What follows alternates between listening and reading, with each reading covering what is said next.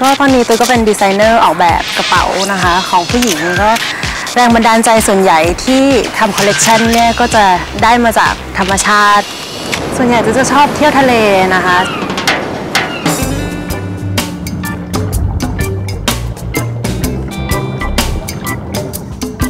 ถ้ามีเวลาว่างนะคะตุ๊กก็จะชอบไปดำน้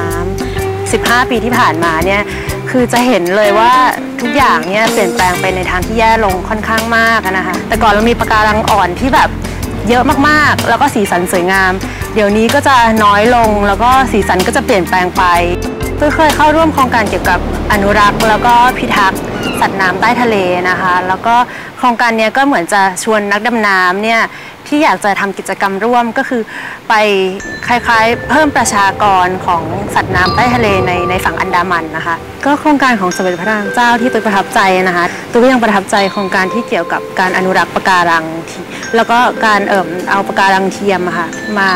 ให้เป็นที่อยู่ของปลา แล้วก็รู้สึกว่าท่านเนี่ยเอิ่มทรงมีวิสัยทัศน์ที่กว้างไกลอะค่ะคือมองถึงสมดุลของธรรมชาติก็คือทุกอย่างเนี่ยที่จะอยู่ได้เนี่ยจะต้องพึ่งพาอาศัยซึ่งกันและกัน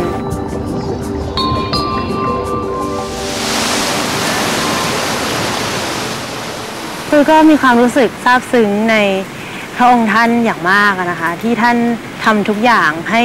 พวกเราปวงชนชาวไทยอะค่ะแล้วก็ถ้าให้แบบ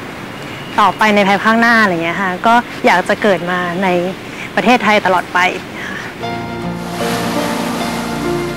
เพื่อสนองพระราชปณิธานในการรักษาสภาพแวดล้อมไว้ให้ประเทศไทย บริษัทสิงห์คอร์ปอเรชั่นจำกัด ภูมิใจ ที่ได้เป็นส่วนหนึ่งของโครงการปลูกป่าเฉลิมพระเกียรติ ปลูกป่าในหัวใจไทย อันเนื่องมาจากพระราชดำริของสมเด็จพระนางเจ้าสิริกิติ์พระบรมราชินีนาถ